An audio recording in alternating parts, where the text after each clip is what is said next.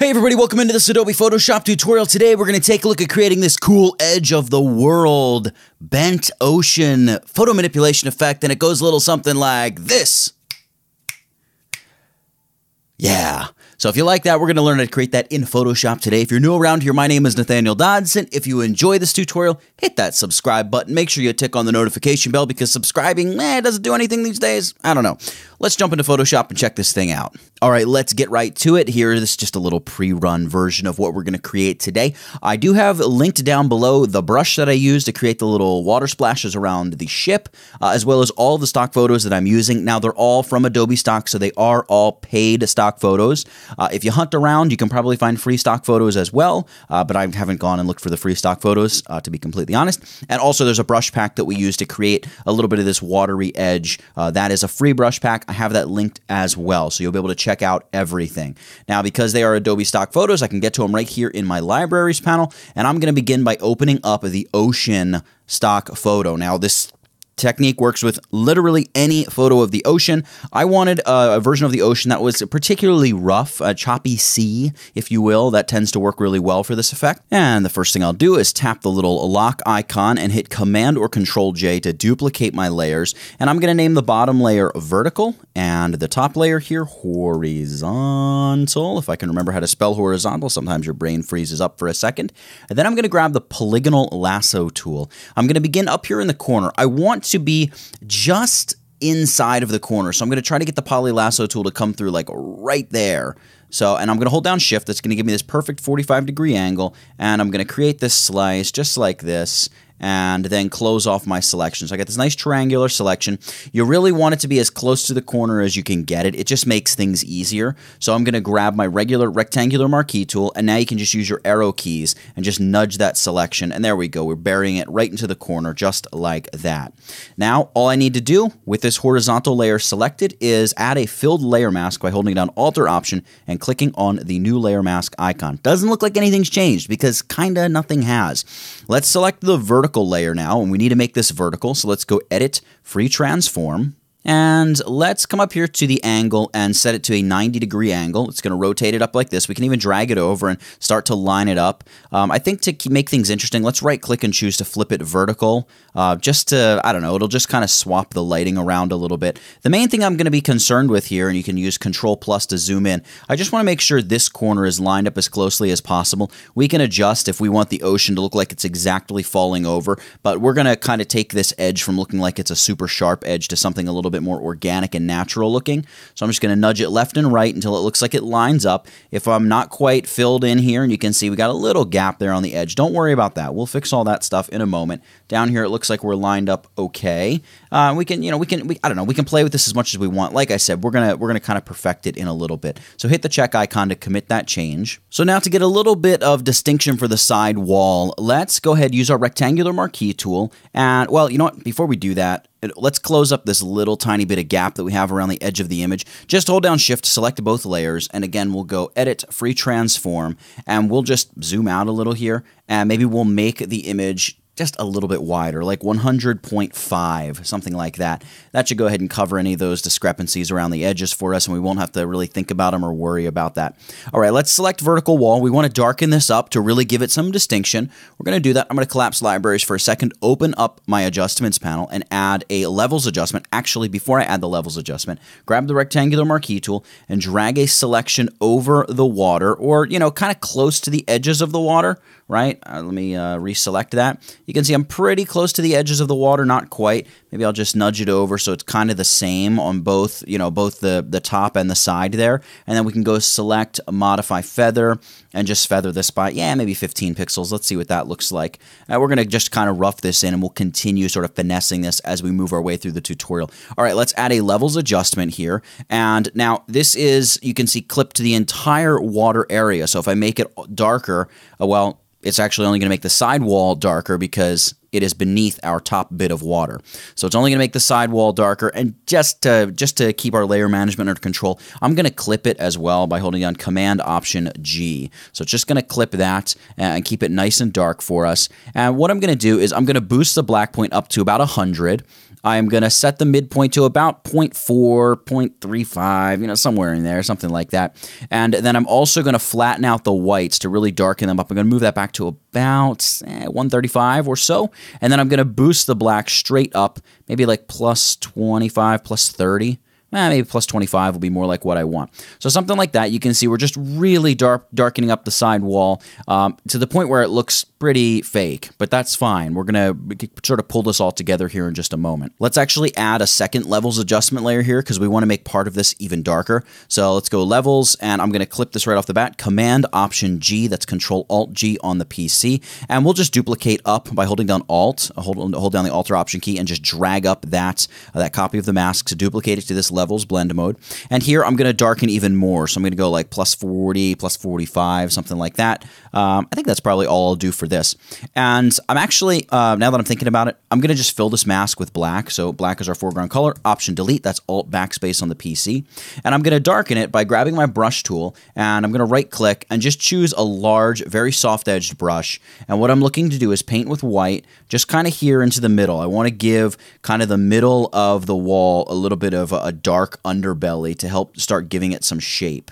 All right, so something like that. And remember, we can always reduce opacity if you're looking at it and saying, this is crazy, you're messing the image up, what are you doing? I'm just going to go in there and darken that up a little bit, something like that. And, you know, again, we'll, we'll be able to finesse this and finagle it as much as we like in just a moment. Now let's spend a little bit of time uh, sort of blending the edge of our ocean, rounding the edge of the earth, if you will. Uh, and uh, then we'll even try to round off the back corner here of this as well, just to make it look a little bit more organic. So let's begin here up on our horizontal layer. The idea is going to be, I'm going to option click the mask here for a second. The idea is going to be to extend the white mask into this black area a little bit more, uh, therefore revealing the top bit of the ocean as if or as though it's splashing out over the edge. It's going to help to give us a little bit more of a natural looking transition. So grab the brush tool, and here's where you want to go to the bio of this tutorial, download that water brush, and here it is 20 water splash brushes. Just import that right into Photoshop, and we can really use any of these. I'll just go with this first one here, and I can see that it's number one, it's giant, so let's downsize it to about 500 to begin with. That's a little more workable and usable. And then let's rotate it here. Now, it may be a little bit easier to bring up your official brushes panel, or your brush settings panel, I should say, and just set an angle like 1, negative 135, something like that. And then we can paint. Notice I'm painting with my foreground color set to white. I want to make sure the opacity of my brush tool and the flow are both at 100%, and then just start painting some splashes that are sort of just shooting out over the edge a little bit, and then just mix up the brush tip shape a little bit. So grab a different, uh, grab a different water splash and paint away. And there we have it. I'm going to make sure I set it to 500 and again negative 135 on the uh, angle there. And just go ahead and paint, paint, paint. You could also, by the way, you could take some dispersion brushes or even some big soft edge brushes, you know, something like this. Make sure you soften it up maybe make it a little bit bigger and you can paint and just just round that edge off a little bit. That's totally uh, acceptable as well. That'll give you a neat little look. Just kind of give a rounded look to the edge. In fact maybe we should just go over the edge round the whole thing and then what we'll do is go over it with the splash brushes and uh, just kind of make it a little bit more interesting. By the way just by moving in and out a little bit you can see you kind of will give yourself these little ledges that shoot in and out. So that's kind of neat and I'm not going to be too picky about the corner because, like I said, we're going to round that off a little bit and make it look a little bit better. And I'll just speed the video up here while I play around with splash brushes. And you can just take some time and, and work your edge, finesse it, and make it look really good. I want to add above the flat ocean, let's darken this up a little bit as well to match before we mask in the sky. I'm going to use curves for this because I love curves. I'm going to clip this, Command Option or Control Alt G, and let's go ahead and just pull this down. We're going to darken this up. Don't worry about the sky getting darker. We're going to take care of that. See how this is really helping blend the top with the side while still maintaining kind of some of that, uh, some of the darker, like the, the side still is going to look darker for us than the top of the ocean here. And what I'm going to do is just duplicate this map mask up. So hold down Alt or Option, drag that up, and there we go. We've just darkened up the surface of the water as well. We can always go into here with a brush too, by the way. Right click. Let's grab a big old soft brush here. Maybe I'll make it bigger. And let's say I want the very center of the ocean still to be pretty bright, right? So maybe I know that's probably going to be kind of the focal point, and maybe the whole edge of my ocean uh, I, or my world here. I want the whole edge to still be pretty light. Uh, so something like that might work well for us. We can see there's a before, there's after. We're just helping set the scene a little bit more. Now what I'm going to do, go back to my libraries, I'm going to drag my sky into place. A lot of different ways you can go about adding a sky. I kind of like this really dramatic look. Um, I'm, I think I'm just going to use one big sky because there's almost this bluishness here that's going to sort of look kind of like it just belongs when I add it or when I mask it into place, right? It's going to kind of be up here just above what would be the horizon of our, our fake earth here.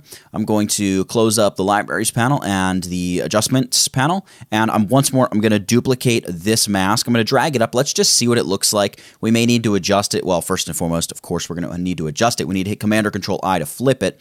Uh, but you can see here, the edge is not quite the way we want it to be. So let's select the mask. We'll come here first to our mask properties panel and we can try changing the feather a little bit, maybe feather it a little bit more. That's not going to work for us. Density's not going to work. So let's go select and mask here. And I'm going to come down here to shift edge and I'm just going to shift it a little bit until I see some of that glow go away. You'll see it slowly go away as you inch that upward. And I think I'm also going to bump up the contrast to make the transition a little bit sharper, something that looks a little bit more natural. Again, this is going to be totally to your personal taste. I like a little bit of feather on the edge, but not too much. And I kind of like it sort of naturally rounds the back edge for us and makes it look like this big old ledge of water sticking out into the air. I kind of like it. I'm going to hit OK. And as I look at this, I think I want to make the top of the wall a little bit lighter. So I'm going to select this levels adjustment layer, make sure I'm selecting the mask. I'm going to grab my brush tool. Here's where the opacity controls of the brush are really useful. Just hit the number 5, reduce the brush opacity to 50, and let's paint with a 50% black brush. See, the brush is black, really nice and soft edge. I can right click, see hardness is down at 0. And I'm just going to click once, hold down shift, and click over here, and just help blend that together a little more. It might be a little bit too much at 50%. Maybe what I'll do is move the brush all the way back here, hold down shift, and just paint a nice edge across the top just to do, yeah, just to do a little something something as it as the brush travels right on across that top edge. Now, before we go any further, we want to begin to match the contrast and brightness of the sky to our water. The easiest way to do that is to get rid of all the color in the scene. So let's open up our adjustments panel and add a black and white adjustment layer. This is great, this is fine.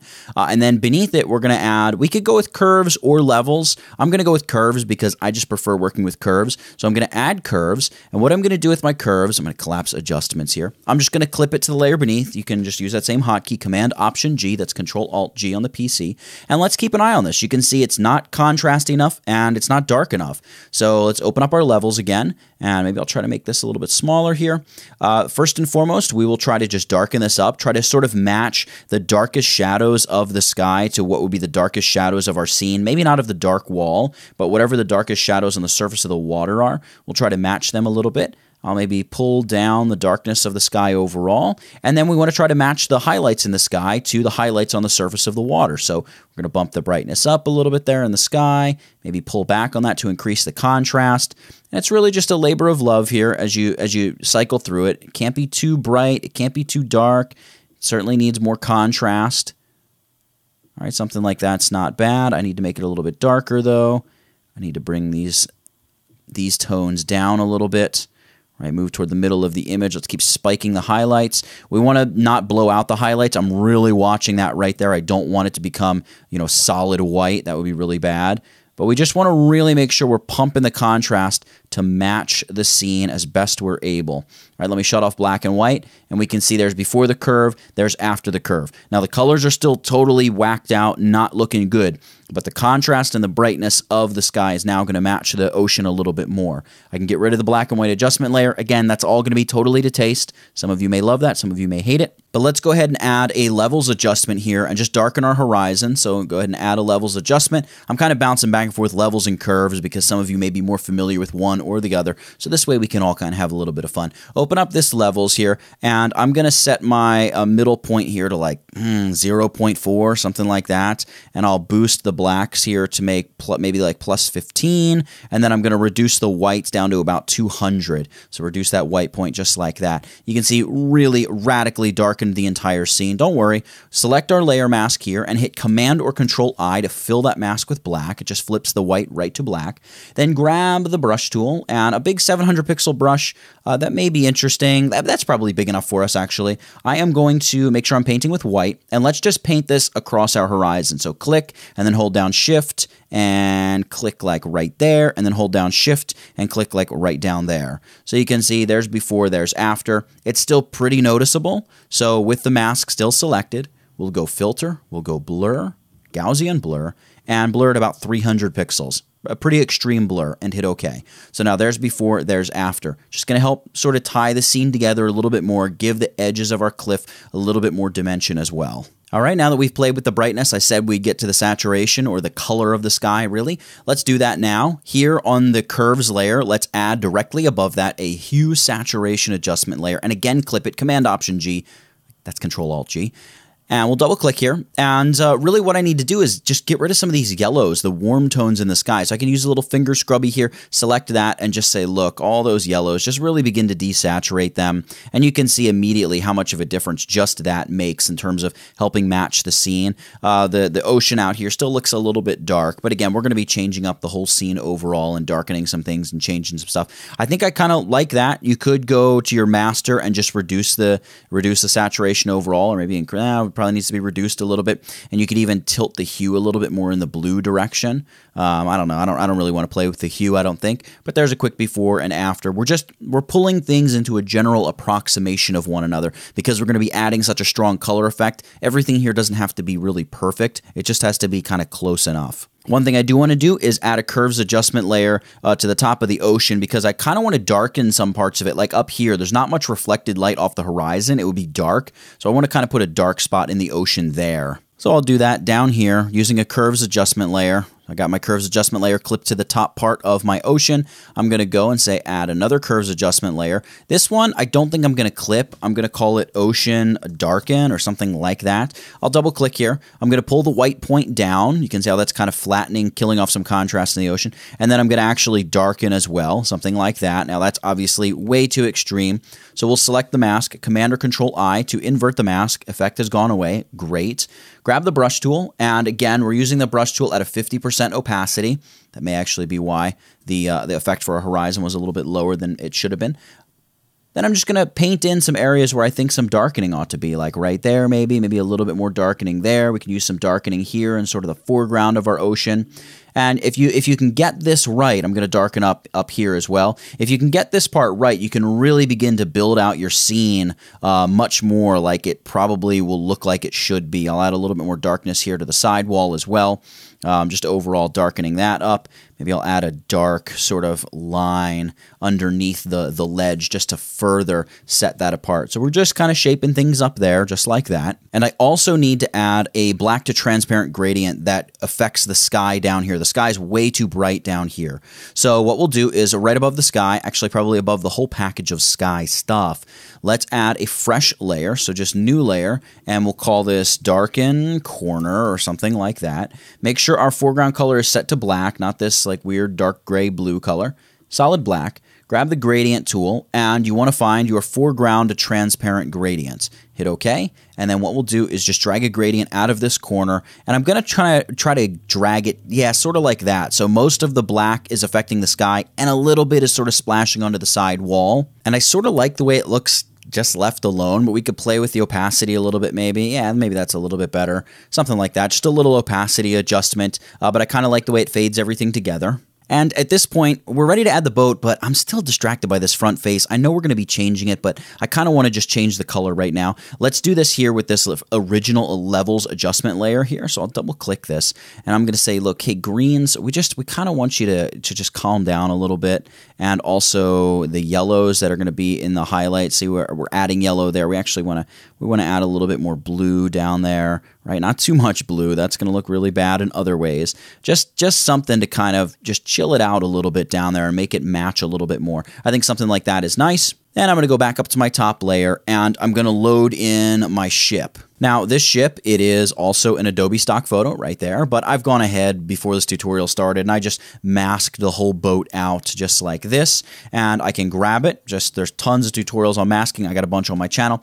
We'll just grab this and we'll drag it here into our PSD. Then I'll come over here and I'll close my boat, uh, my boat PSD. We don't need that. And what I'm going to do here with this is number one, I need to resize it a little bit. You could convert it to a smart object, but I like my mask a little bit too much. I could move the mask, convert it to a smart object, yada, yada, yada. Uh, what I'm going to do is I'm just going to work with this a little destructively. So I'm going to go free transform and I'm going to scale it down. And really, the scale is up to you. The bigger the boat looks, the smaller the edge of the world is going to look. If you make the boat really small, all of a sudden this is going to look like a huge edge of the world. Now, you do want to be cognizant of like little suds in the ocean, things like that. That'll give away the fact that, you know, the water looks a little bit bigger. So I'm going to go with a mid-sized ship, something sort of like that. And I want to change the perspective a little bit. I would prefer that the line of the, the hull here runs a little closer to the line of the edge of the earth. So let's right click and go perspective and we'll just pinch the back end of the boat and maybe we'll boost the front end of the boat and we'll right click and go scale. Hold down shift if you're using the latest version of Photoshop. So we sort of unconstrain proportions and we'll just kind of rock the boat into place a little bit like that. One other thing I want to do is give the boat a little bit of a tilt, almost as if it's coming up over a wave here, sinking into the water a little bit. So see this little center point right here? I'm going to drag it to like the front hull of the boat there. And then I'm going to just navigate around the edges of my transform handles. I need to right click and make sure I select free transform again. And I'm looking for that little swing arrow. And I'm just going to tip the boat like this. Now, it doesn't look all that great because we still need to mask the boat and make it look like it's actually sinking into the ocean. We're going to do that. Let's commit the change and let's tweak the mask. So I'm going to zoom in here, and there's a bunch here. We need to correct some of the little splashy stuff as well, the wake. Uh, I'll select the mask, grab the brush tool, and here again is where we're going to go back to our water splash brushes. Now, you want to use these water splash brushes, but you want to use them kind of small. So like 250 pixels, that might even be too big. And I mainly want to paint with black because I want to introduce my ocean scene. See how that's almost making it look like there's just splash being added to the front of the ship. I also probably want to set the opacity of my brush tool back to 100%. So I can just add sort of this splashing going on around the ship, just like that. And I'm going to right click again. I'm going to choose maybe this, well, maybe not that water splash. Maybe I'll go with like this one here. Again, I'm going to make it nice and small. Let's go like 250 in the size department. And I'm going to come, oh, that's a little bit too much. Now, one thing I can do is begin going over the back edge of the boat and just making it kind of look like it's sinking into the water a little bit. See how much more realistic that looks all of a sudden? There we go. And I can also play with the wake that this boat is bringing in. So something like that. Add a little bit of splash to the front of the ship. Something like that. There we have it. Oh, that's a little too much. And you can go through and just play with this and tweak it as much or as little as you like. Maybe I'll try one more here and just see what we can get. Let's see what this looks like. That's kind of interesting. Add some splashy stuff just a little bit of small texture around the boat. And just like that, we really, really blend this boat into the ocean scene. Now, the color doesn't quite match. We're going to adjust brightness and color here in just a moment. One thing we'll have to do in addition to the brightness, the brightness and contrast is saturation because it's going to be such a dull, muted scene. This bright orange boat, as beautiful and wonderful as it looks, uh, we're going to want to kind of tone it down a little bit for the moodiness that we're getting here. So let's first match brightness. We're going to throw our black white adjustment layer over top of this again, and the boat just looks like it's a little bright. That's kind of it. Uh, it'd be nice if the whites of the boat were a little more dull and the hull of the boat was a little darker. So let's select the boat layer and I can actually name it boat as well. Boat. Is it a ship at this point? I don't know. It's a pretty big boat. I feel, I, a boat to me is like a rowboat. That's like a ship. Uh, there we go. We're going to go curves, and I'm going to clip the curves just to our boats. Command Option G or Control Alt G. Let's open that up, and we can tone down the whites by dragging down the white point right here. So we drag down the white point, we tone down the whites, and it just looks like it matches a little better. And then let's pull in uh, some darkness into our shadows. Maybe we'll spike the shadows over a little bit, trying to match contrast a little bit. Ooh, that might be a little too contrasty. Maybe something a little bit more like that. Maybe a little bit too uh, a little bit too dark there for a second. Let's shut off black and white, and we can see there's before curves and there's after curves. So we're just kind of washing the ship into the scene a little bit more. And then to reduce saturation, we could create what's called a saturation mask and do all kinds of fancy matching up again, we just need to we just need to get it close enough here. So let's add a hue saturation adjustment layer, and I'm going to clip it to the boat. Command Option G, as we've done a million times, seemingly already. And I'm just going to reduce the overall opacity of the ship, like mm, negative 45, let's say. So something like that. You can see all of a sudden now it's fitting into our scene a lot better. Negative 45 might be a little strong. Let's go negative 30. There we go. Something like that. I think looks pretty nice. All right, one thing that uh, keeps jumping out at me is the horizon looks just a little bit too perfect. Uh, we can go around here on the sky layer, and by masking and painting with white, we can effectively change the shape of our ledge. So maybe what we can do is here on the vertical, I'm going to make sure I'm working in the mask for the sky layer right there. Grab my brush tool. I'm going to right click. I don't want a brush like that. Um, you could go with a hard edged brush. You could go with kind of a softer edge brush. I've got some dispersion brushes. You can Google around, find there's tons of free dispersion style brushes all over the web. And I'm going to set this to like 200 and uh, I'm going to go shape dynamics and say, hey, look, give me some size jitter, give me some angle jitter, and also in brush tip shape, increase the spacing kind of a bit right? Maybe like 25, 30%, something like that.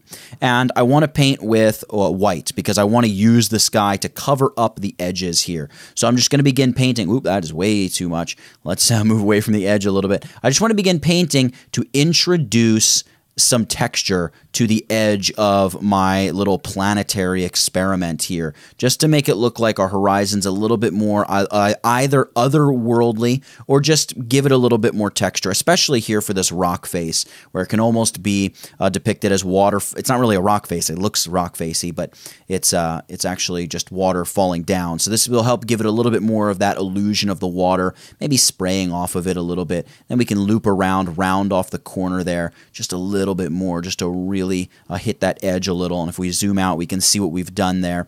And then maybe what I'll do is click a single time, hold down shift and click across the horizon, maybe just a couple times, introduce a little bit of kind of chaos and confusion up there, give it a little bit of roughness. Um, and again, this maybe is not the best brush in the world to be doing this with, but I think it'll get the job done well enough, sort of something like that. And again, I could go over it, you know, for 20 minutes and and just really work to get it perfect, which of course is what you should do if you're creating a, a beautiful piece of artwork. Uh, but I'm creating a tutorial as well, so things are a little different. So there we go. It just kind of helps. You can see it gives a little bit more of that tempestuous sea vibe, right, off in the horizon like that. I kind of dig it. All right, so now we're going to add some foreground texture, that being rain. I'm actually looking at this darkened front edge. I think I need to push the opacity up a little bit more. I think it needs to be a little darker. There we go, something like that. Let's go all the way up above everything. Now, this is another stock photo, this falling raindrops just kind of on a black background. There's a lot of different ways to make rain in Photoshop, but I've realized nothing beats just using a real authentic like photograph texture over black. I'm going to drag this out, hold down shift. I'm going to change the way it looks a little bit. Kind of there we go. Commit that change. Now, if I zoom in, I can see there's kind of the, these chromatic aberrations on the raindrops. I want to get rid of all them. So let's go image adjustments and just choose black and white. That's going to just get rid of all that. We can hit OK and just leave it at the default. I'm going to zoom out here. And then what I'm going to do is set this layer to the blend mode screen. So you can see it gives us this very, very, strong effect. In fact, it looks very fake at this point because of how strong and prominent it is. Uh, we're not going to reduce the opacity to make this look, look weaker because that does weird things. Uh, well, I lie. We may reduce the opacity a tiny bit, but mainly we're going to just click on the layer and we are going to go and use the blend if sliders. So I want to begin getting rid of the rain that we can see. Let's try on the light parts of the image underneath. So underlying image, the white slider, hold down the Alt or Option key, split that slider, and just pull back and just watch how the rain blends into the scene. That's kind of interesting. I'm going to try blending it in the shadows as well a little bit, just in the really, really dark areas something like that. That looks a, a, bit more realistic, I believe. And I think I may tone down the opacity a little bit more just until it starts to look fake right around there, and then I'll bring it back a little bit. So like 84% is what I'm going with. A screen blend mode is looking good. I'll hit OK. So now before our rain and after our rain. Now that's not good enough. We need to add dimension to the rain. So I'm going to select my rain layer, hit Command or Control J to duplicate it, of course, and then go Edit, Free Transform, it's going to say, look, there's some smart filters. We're going to shut them off. That's fine. And I'm going to make sure I have my little chain link checked on here.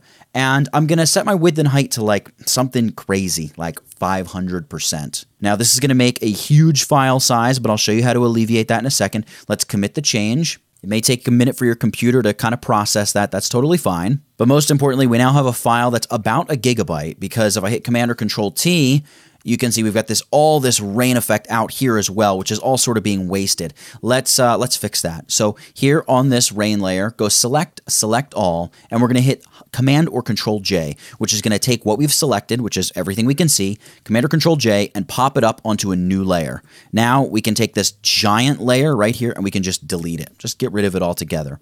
Now for this, let's call it blurred rain. It's our foreground rain. We're actually going to blur it a little bit more. Let's go filter, blur, motion blur. And what I'll do here is I'm going to rotate the angle until it looks about right. So kind of somewhere over here, negative 60-ish degrees is about right. You can see that's looking pretty good. Let's try negative 60 straight up.